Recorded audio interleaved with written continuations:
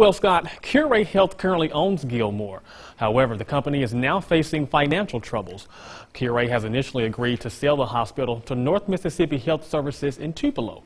Now, while nothing is finalized as of yet, some residents want the hospital to stay locally owned and operated. For the past several decades, Gilmore Memorial Hospital has been a staple in the Amory community. Just ask District 7 Senator Hob Bryan, who's a lifelong resident. It means everything to Amory to continue to have the medical community that we have. Bryan says he believes the hospital should stay under local control. My concern is that if the hospital in Amory is owned by the Tupelo Hospital, over the years, services will migrate from Amory to Tupelo and we'll be on a, a, a downward spiral. Curae Health currently owns the hospital, but financial problems are now forcing them to sell. North Mississippi Health Services has placed a $15 million bid to buy Gilmore. However, some residents have concerns with this proposal. The neonatal intensive care unit is mighty important because there's a neonatal intensive care unit in Tupelo.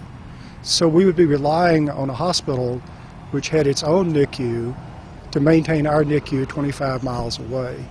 I'm concerned about the long-term ramifications of that. So far, North Mississippi Health Services is the only corporation to show interest in buying the hospital. However, Bryan says another bidder could potentially be added to the mix. One possibility is for a group of individuals in Amory with with the support of the community, to form a nonprofit uh, corporation, to have that corporation purchase the hospital out of the bankruptcy court. We reached out to North Mississippi Health Services about this proposed sale. They released this statement to us. It reads, in part, we have an appreciation for the excellent medical staff and team at Gilmore Memorial Hospital and respect the significant community need they meet as the local healthcare provider. Therefore, we hope for success through the bankruptcy process and look forward to teaming up with Gilmore to bring long-term stability to healthcare in Monroe County and surrounding areas. Now, all potential bidders must submit their bids to bankruptcy court by November 12th. If no other bids are placed, then the hospital will be sold to North Mississippi Health Services by default. Gilmore is set to be auctioned off on November 15th.